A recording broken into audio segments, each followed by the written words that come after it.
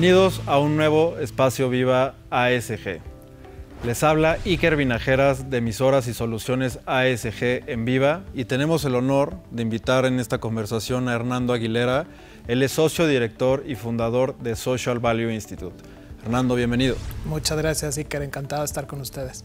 Para dar tracción a la, a la, conversación que vamos a tener el día de hoy, vamos a tocar el tema de qué es un Chief Sustainability Officer o un director de sostenibilidad ¿Cuál es, este, ¿Cuál es el impacto que está teniendo en las organizaciones en México y a nivel global y por qué es tan relevante hoy en día en el siglo XXI? Hernando, ¿por qué no empezamos con algo muy simple de qué es el Chief Sustainability Officer y cuáles son sus principales roles?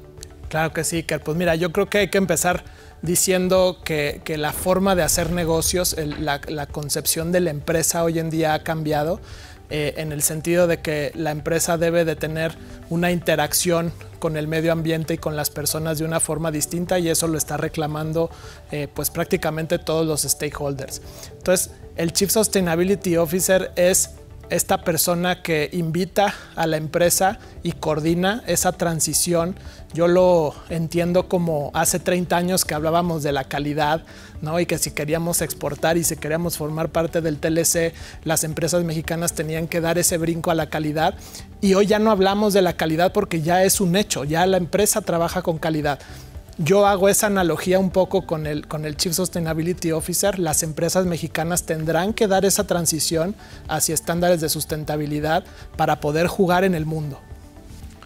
Totalmente, Hernando. Y para también dar comienzo a lo que estamos tratando de hacer en conjunto, tanto Viva como Social Value Institute, en materia de nuestro programa. ¿no? Vamos por nuestra segunda generación ¿Cuáles son los principales objetivos que conforman los pilares de, del Chief Sustainability Officer, el programa de aceleración que estamos creando en conjunto?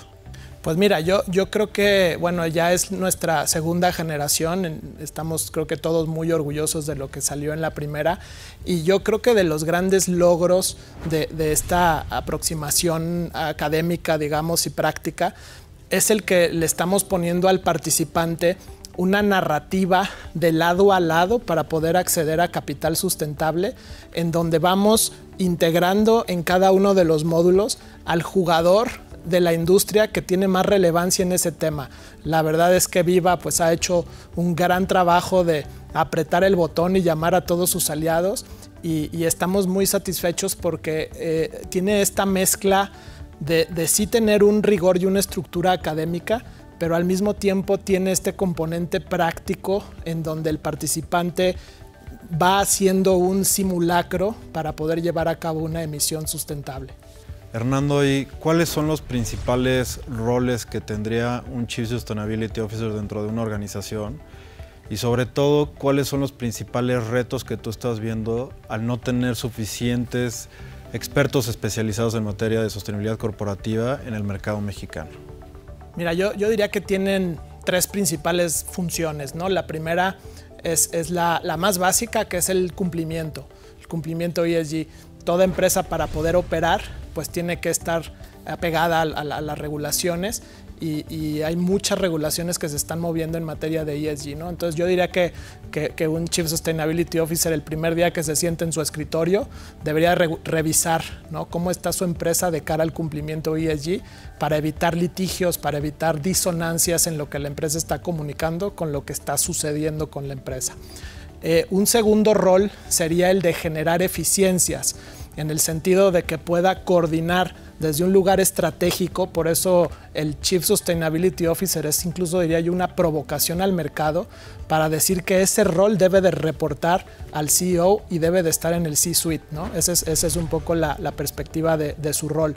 Pero generar eficiencias en cuanto a la estrategia de la empresa, tanto en su comunicación con las áreas de, digamos, de recursos humanos, laborales, eh, eh, con las áreas jurídicas, con las áreas de operaciones ambientales. ¿no? Entonces yo diría es un rol de eficiencia en cuanto a la coordinación empresarial y estratégica.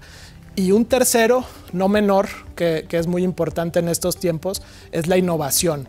¿No? ¿Cómo puede la empresa ya no solo cumplir con la ley, ya no solo ser eficiente en términos de ESG, sino que sea un factor diferenciador en su producto, en su modelo de negocio y que estos temas de ESG los logren insertar como, como una ventaja competitiva de la empresa? ¿Y cuáles serían los principales retos que tú verías en no contar con capital humano que esté especializado que, o que realmente pueda llevar la transición de las compañías en México? Mira, voy a, tomar una, una, conversación que me gustó mucho de una persona que, que estuvo en el primer módulo que decía, eh, el que se sienta que todo lo sabe en términos de ESG, este, pues está equivocado, ¿no? En el sentido de que es un tema bastante nuevo, aunque en Europa tiene ya muchos más años que nosotros, estamos en una zona de, nacimiento de todo esto. Entonces yo te diría que, es normal que las empresas mexicanas estén muy atrasadas, pero no es deseable. ¿no? debemos de, elevar el estándar, estamos muy por abajo, diría yo, que incluso de países de la región y, tenemos poco acceso a estos instrumentos de capital sustentable que cada vez más vienen más etiquetados hacia, hacia este lado. Entonces yo te diría que, uno de, las, de, las, de los retos de no tener esto, yo, yo lo dividiría en tres. Una, eh, el acceso a financiamiento, se pueden perder de mucho a muchas empresas. Eh, tú lo sabes y, ahorita me gustaría escuchar tu, opinión de esto, de cómo se han movido los mercados de capital y, con toda la experiencia que ustedes tienen. Eh, un segundo, diría yo que, que, es el poderlo insertar en la visión estratégica de la empresa. Normalmente estas áreas tradicionalmente han venido siendo como algo anexo a la empresa, como un tema que por ahí lo tenemos que atender, pero que no está en la conversación estratégica de la empresa. Entonces, yo diría que esto, si no se logra integrar al discurso, a la mente del director general, a, los planes, a los presupuestos de la empresa, a los indicadores de desempeño de la empresa, esto va a, generar siempre una disonancia entre lo que la empresa dice que es y lo que realmente hace el lunes por la mañana. ¿no? Entonces yo diría, este, este tema de meterlo al tema estratégico. Y, un tercero, yo diría que es el, el poder eh, hacer esta llamada transición, ¿no? que si la, la, empresa no tiene a alguien que, que, que se encargue de ver de manera sistémica lo que la empresa tiene que mover estratégicamente en todas las dimensiones, eh, difícilmente van a tener una transición amable este, exitosa, ¿no? Pero bueno, Iker, me gustaría, dado que este programa pues, ha sido realmente una incubación de, ambas organizaciones, el que nos pudieras platicar del lado de Viva eh, cómo han visto este programa, su importancia y, todas las alianzas estratégicas que han, que han surgido o que han aprovechado de lo que ya tenían. Claro. Pues esto surge de nuestro programa 360 Sostenible. El 360 Sostenible ya tenía cerca de 60, 70 alianzas estratégicas y con eso comprimimos aquellos aliados que realmente vemos que tienen, pues digamos que un interés genuino en que esto no nada más avance, sino que se acelere dentro del mercado de valores. El mercado de valores lo vemos como una de las principales herramientas de financiamiento a nivel eh, México y pues obviamente si, si el mercado de valores avanza primero, el sector financiero lo va a acompañar. Y el mercado de valores está integrado en prácticamente todas las, todas las industrias o sectores, entonces lo vemos como un buen motor de cambio. Y de las, de las alianzas, Hernando, pues hemos integrado todo tipo de participantes. ¿no? Vemos organizaciones que realmente ya tienen un largo camino recorrido en materia de sustentabilidad a través de diferentes frentes. Tenemos desde cinco casas de bolsa que realmente consideramos tanto internacionales como nacionales que han avanzado de manera importante en estos temas. Tenemos a seis inversionistas institucionales, tanto la parte de bancas multilaterales, tenemos un fondo especializado en temas de impacto, tenemos a uno de los principales fondos a nivel global, tenemos, digamos que diferentes jugadores en la parte de inversión para que realmente el participante que entra al programa se lleve cuáles son las diferentes expectativas que tienen este tipo de organizaciones. ¿no? Tenemos a consultores especializados tanto en la parte de propósito, de estrategia y de riesgos en materia de, de ESG Integramos muy importante también en conjunto con, con Mijares Angoitia el, concepto de que el CSO se lleve también la parte de litigación y de cumplimiento, ¿no? Y también metimos, digamos que a jugadores como un Deloitte o un Southpol, que ellos se van a encargar en la parte de, revisión y de validación externa de los datos, que es uno de los principales retos que tenemos para evitar cualquier tipo de, de ESG washing en el mercado local. Entonces digamos que es un, es un programa de cinco módulos, son hasta 60 horas, son hasta 40 alianzas estratégicas que hemos hecho para esta para esta segunda generación. Y pues tenemos también a los, a los organismos globales que pues obviamente están interesados en que esto avance con mayor velocidad. Lo que mencionábamos, ¿no? No nada más es más bien que avance, sino que se acelere este camino. ¿no? Entonces, para eso tenemos desde un Consejo Consultivo de Finanzas Verdes, un Consejo Coordinador Empresarial, un Pacto Mundial, un Sustainable Stock Exchange Initiative. Son actores globales que realmente están volteando a ver, no a los mercados desarrollados ya, porque tienen algún, algún camino ya recorrido, pero a los mercados emergentes. México es una de las principales economías. Sí hemos avanzado, pero todavía tenés un largo camino que recorrer. Entonces yo creo que ahí la clave es poder equipar al mercado de valores para que el mercado de valores después sea un referente para todo el sector financiero.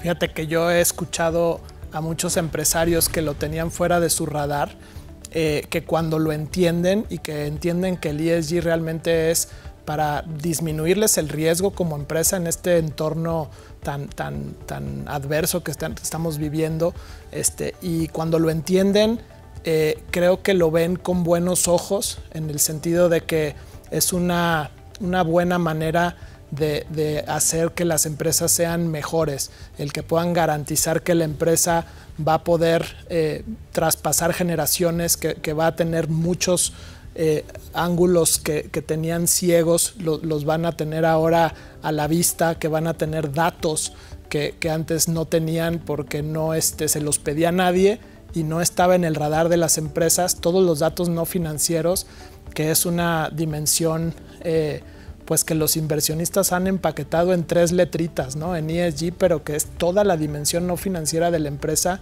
y que tiene muchas dimensiones, ¿no? Totalmente, Hernando. Hernando, para continuar con la conversación y dar un poco del contexto que tuvimos en la primera generación, ¿Cuál fue el impacto que, tuviste en, las organizaciones que entraron y cómo lo estás viendo, digamos que en visión de lo que viene? Pues mira, yo, yo la verdad es que gratamente vi que, muchas empresas, el hecho de que mandaran a una persona y que empezaran a sentir que esta persona se le iba a empoderar para hacer todo este recorrido y la participación en el programa le dio herramientas a esta persona para poder hablar dentro de la empresa con más autoridad y saber cuál es el camino que su propia empresa necesita, me parece que fue un primer gran logro, ¿no? el poner en el, tema en la agenda de, tantas empresas mexicanas importantes. ¿no? Eh, un, un segundo impacto que en mi opinión se está dando es el crear comunidad, ¿no? De alguna manera ya lo dijiste tú, pero el poder juntar a todos estos grandes jugadores que, están liderando estos temas en un pedazo, pero ponerlos a todos a conversar en una misma línea discursiva y que las empresas tengan a estos participantes platicando entre ellos de los retos que tienen en sus empresas, me parece que es un segundo logro muy importante. ¿Y, y qué viene? Pues yo creo que este propósito compartido que tenemos con Viva de acelerar en México eh, la dirección del capital hacia esta movilidad de dinámicas sociales y ambientales a través de las empresas, me parece que, que lo estamos logrando, lo estamos empezando a ver y, bueno, pues es el comienzo de algo que, como yo lo veo, es invitar a todos a, ser partes de un, club de corredores. No, no es un sprint de llegar de aquí a la pared y decir, bueno, ya, ya hice mi framework, ya tengo esto y check, sino es realmente el inicio de, una transición acompañada, ¿no? Así lo veo yo. De acuerdo.